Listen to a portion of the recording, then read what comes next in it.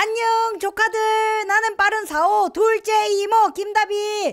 아이고 안녕 반가워. 아이고 이모도 지금 긴급 재난지원금을 받았다.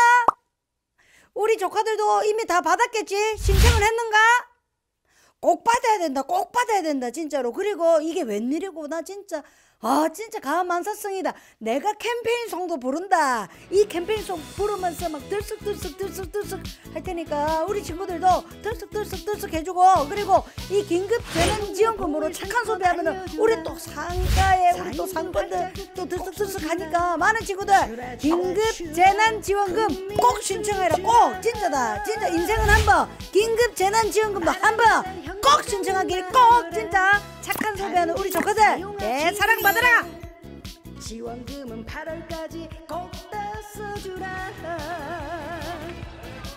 약속 약속 약속 감사합니다 선생님